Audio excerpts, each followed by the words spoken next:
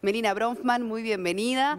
Desde Argentina va a estar ofreciendo talleres aquí en nuestro país y vamos a poder entonces conversar puntualmente sobre esta etapa de la vida que parece ser clave, ¿no? De los cero a los tres años y algunos consejos interesantes para mamás y papás.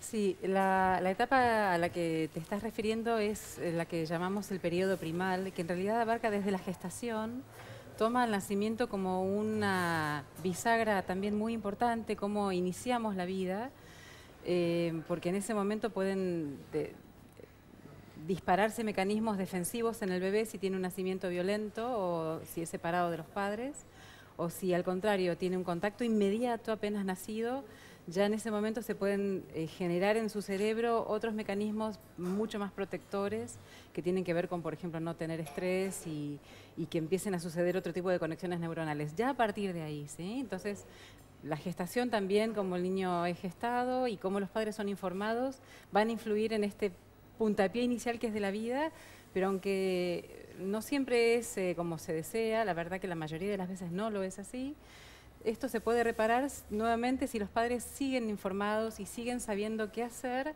a medida que su hijo va creciendo. Cuando un niño nace, nace totalmente inmaduro, es el mamífero más inmaduro de todos. Y más indefenso, ¿no?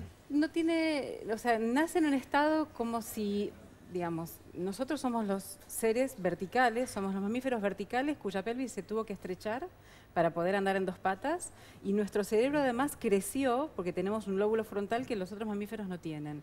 Entonces, cabeza más grande, pelvis más chica. ¿Cómo hace la naturaleza para que se pueda producir eh, la supervivencia de la especie? Y que nazca antes, nazca prematuro aunque nazca a término. Entonces, un niño cuando nace necesita de todavía una dexterogestación y la dexterogestación es estar en contacto, es lo que llamamos el apego. Y este niño, todos los niños cuando nacen piden brazos, piden estar en brazos, en cualquier cultura, en cualquier parte del mundo y en cualquier época de la humanidad. Y esto es fisiológico. Claro, es lo que los calma, es lo que... Es lo que necesitan. Exactamente. Entonces una crianza fisiológica es estar enfocado en, esta necesidad. En esta necesidad. El bebé hay padres que están como en una postura, quizás también un poco deformada porque la sociedad está un poco desnaturalizada y se escucha mucho este consejo, déjalo llorar, que no te tome el tiempo, ¿no? Y entonces estos padres dicen, ay, pero quiere estar conmigo todo el día como quejándose, ¿no? Y en realidad no están pudiendo ver que su hijo necesita eso de una manera más que respirar quizás, ¿sí? porque eso es lo que lo regula, eso es lo que lo calma, eso es lo que lo ayuda a tener confianza en ellos y en sí mismo, como que lo que le está pasando está siendo validado.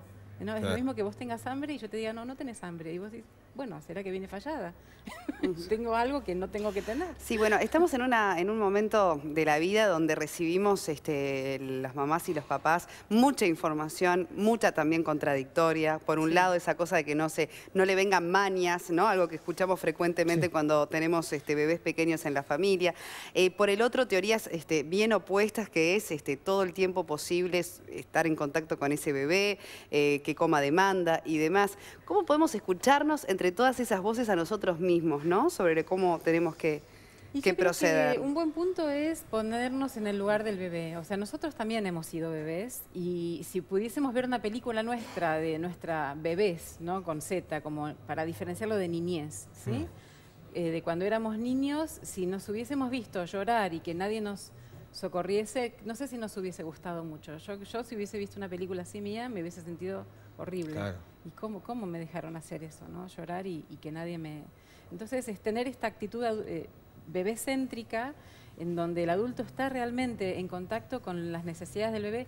No siempre son los padres, porque hoy en día con los padres que trabajan se complica un poco poder brindar esta, este apego, sería ideal. Yo, siendo el sostén económico de mi hogar, cuando fui madre, eh, mi hijo ya tiene 24 años casi, pero en su momento cuando fui madre, el primer año de vida de mi hijo no trabajé y sobreviví como pude, pinté alpargatas, no sé lo que hice, mm. pero sentía, yo necesitaba fisiológicamente estar para él y él obviamente me necesitaba. Pero bueno, hoy en día no siempre es así, pero lo importante es que en realidad el adulto que esté asistiendo a este niño sea consciente de estas necesidades y no quiera amoldar al niño a sus necesidades adultocéntricas, como que yo quiero que duerma hasta ahora, así yo puedo hacer tal cosa. Claro. Sí, sí, que el niño se adapte a tu vida. El niño se empieza como a deformar. Seguro. Empieza, aparte se genera realmente a nivel de, esquema de funcionamiento neuronal, se esqueman, se generan como esquemas, por ejemplo, hay un hay un fenómeno que se llama indefensión aprendida, que es esto de no estar, no poder respetar ni estar en contacto con lo que necesito porque me lo ningunearon, me lo han negado. Entonces, bueno, lo que yo necesito no importa, no, no, tiene, no tiene ninguna importancia para nada. El desarrollo infantil es constante, es algo que no se detiene, es algo que es, día a día, instante a instante, exactamente. Eh, y por lo tanto, el acompañar ese desarrollo es fundamental, con interacción como decías, ¿no? Con eso de, estar en contacto, de tener el vínculo, pero permanentemente, no solo tal vez en esa etapa de bebé recién nacido que pide a gritos el abrazo, sino que después también cuando ya hay cierta madurez dentro de la niñez, que pide mantener un vínculo interactivo, ¿no? Lo que hablábamos antes con Soledad es que, por ejemplo, son muy diferentes las necesidades que tiene un niño en su primer año de vida, de mes 0, 1, 2, 3, así, porque va desarrollando su, su motricidad, por ejemplo, y no es lo mismo un niño que desarrolla su motricidad de una manera libre y autónoma a un niño que es manipulado, y en donde el niño ya empieza a, aprender que tiene que adaptarse a las acciones del adulto. Ya, digamos, estamos hablando de un primer año de vida, ¿sí? El niño en ese momento, en ese primer año de vida, está aprendiendo a saber cómo funciona. Es la pregunta que se hace, ¿quién soy yo? ¿Cómo funciono? ¿Cómo opero en este mundo? Y de acuerdo a esa información que él obtiene de sí mismo en su primer año de vida, aparece el segundo año de vida en donde él dice, bueno, y entonces ahora cómo funciona el mundo y cómo yo puedo en el mundo según las habilidades que desarrollé. Y hay, entonces, si desarrolló habilidades pobres por la experiencia que tuvo, esas van a ser las, los resultados que tenga y quizás sea un niño que arrastre, por ejemplo, más frustraciones, un niño que se enoje seguido, con más berrinches, con más caprichos, y en realidad quizás los padres no están pudiendo interpretar que tiene algunas cosas pendientes todavía. Eh, pero ahí es como que a veces aparecen en consultas, que yo recibo bastantes, en donde los padres vienen porque se quejan del niño, como si te lo trajeran tipo, acá hay un paquete. Vino fallado. Resolvémelo. Y en realidad cuando empezamos a ver, bueno, ¿cómo fue su primer día de vida, su primera semana, su primer mes, su primer año? Uh, pasó esto, pasó lo otro, mm, esto lo afectó, uh, bueno, entonces ahí aparece como una reparación importante y de repente florece otro niño. Bueno, eso es muy importante lo que decís, porque quizás este, acá el mensaje es que tenemos que ser conscientes de estas cosas, tenemos que estar informados, sobre todo conocer a nuestro hijo en definitiva. Y de allí en adelante los cambios pueden, este, por supuesto, que reaflorar, ¿no? O sea, eso que quizás vemos que están dando mal en ese vínculo, tiene solución, ¿no? Esa esperanza de que todo se puede revertir. Tiene solución siempre y cuando hagas lo correcto, porque si vos querés seguir empeñada en que aprenda y, entonces le voy a sacar la computadora para que no sé qué. El niño sigue cada vez más desregulado, cada vez más frustrado. y, y Merina, ¿qué es concretamente en estos talleres que además los dirigís a los padres y a las madres específicamente? Eh, tratás en esa hora y media, dos horas que quizás tenés de tiempo, lo más importante que querés destacarle ¿no? a, todos nosotros, madres y padres. Yo les trato de mostrar primero los dos grandes paradigmas en los que estamos hoy en día parados. Uno es el paradigma fisiologista, que es en donde las cosas ocurren espontáneamente, en donde no hay que hacer demasiado, pero sí hay que saber qué es lo que tiene que ocurrir como para acompañarlo adecuadamente, lo que decías Sí, claro. Eh, para no interferir, para no obstaculizar un proceso que no hay, en el cual no hay que hacer nada. Solo hay que saber qué está ocurriendo y acompañarlo y disfrutarlo porque aparte es muy placentero. Y está el otro paradigma que es el paradigma más intervencionista, en donde se pretenden resultados. ¿Sí? y en donde se expone al niño a, o a lo que sea, porque el paradigma intervencionista se puede ver en la agricultura, en la educación, en cualquier tipo ah. de, eh, de ámbito en donde se expone al niño, en este caso, a una serie de, experiencias en donde eh, él, por mediante conductas adaptativas a esas experiencias, va a terminar haciendo tal cosa. El más típico es dejarlo llorar para que después ya no llore más y te deje dormir a la noche. ¿Sí? Entonces, perfecto, el niño dejó de llorar, el, vos querías eso, lo lograste. ¿A costa de qué dejó de llorar? A costa de que hay una parte de su cerebro que se canceló, que se cerró, que ya no se conecta, que después probablemente le produzca un montón de problemas vinculares hacia el entorno, o sea una persona que, bueno, ya Ahora, pero yo tengo casos de, amigas que, me dicen, este, yo hace tres años que no duermo. No lo dejan llorar, pero a su vez también este, su estado anímico o, eh, su, carácter y demás se ven afectados lógicamente por esa falta de sueño. Yo creo que hay todo un entorno, así como la fisiología ocurre espontáneamente, va a ocurrir espontáneamente si hay un entorno que lo habilite. Entonces, el niño va a desarrollarse espontáneamente si tiene un entorno que lo habilite y este, este, entorno son los padres.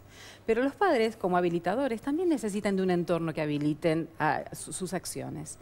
Y lo que un niño necesita, por ejemplo, es colechar. Un niño colechado, durmiendo con los padres, no te digo en la cama, en la cuna de al lado, pegadita, durante sus primeros tiempos, es un niño seguro, tranquilo, que genera un, ciclo del sueño. Esto es totalmente científico, yo no lo estoy inventando, está estudiado. Los ciclos del sueño del adulto son de aproximadamente cuatro horas. El ciclo del sueño de un niño es de una hora y media.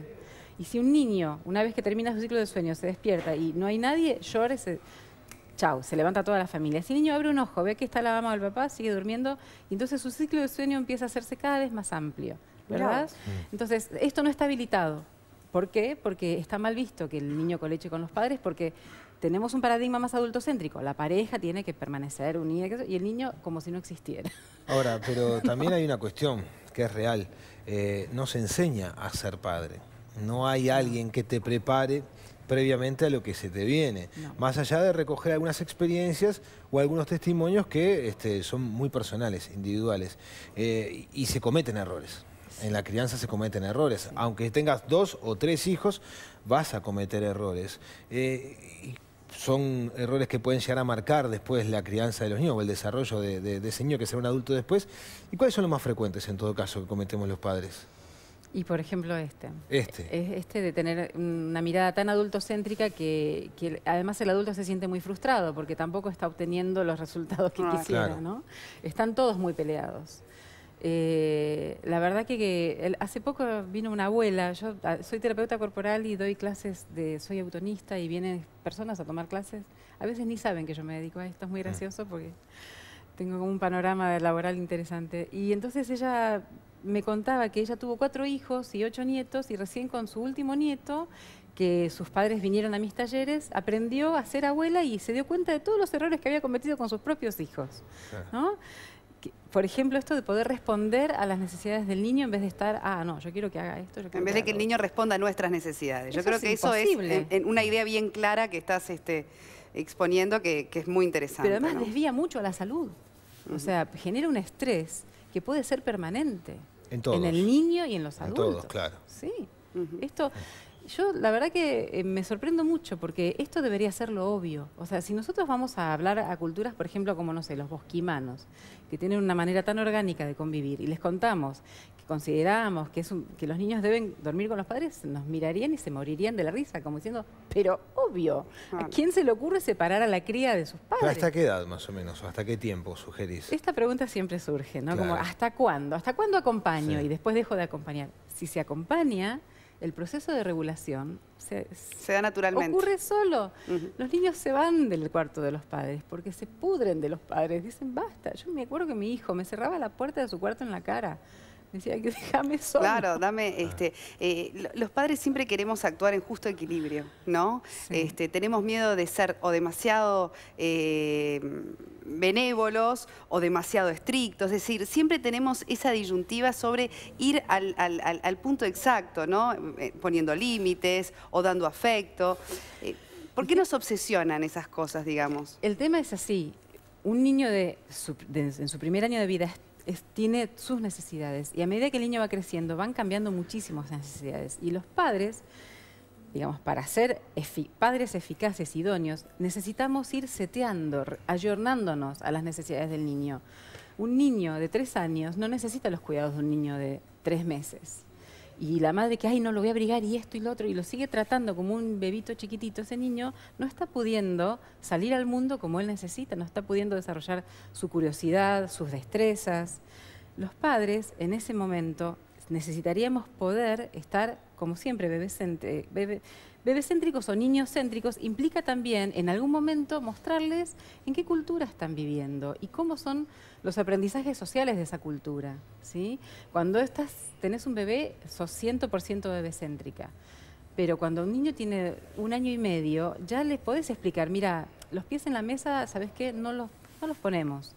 Y porque no es el laissez-faire, no es hacemos lo que queremos todo el ah, tiempo. Pero todas, a veces todas estas cosas nos generan una gran confusión en todos nosotros, ¿no?